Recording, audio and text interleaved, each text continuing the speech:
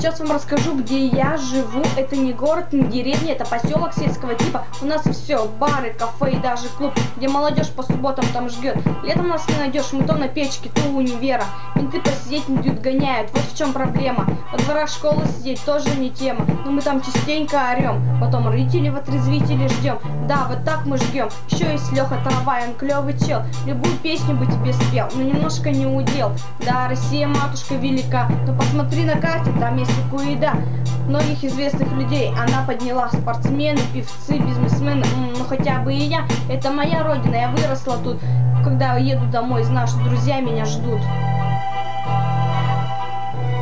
Куида, это для тебя.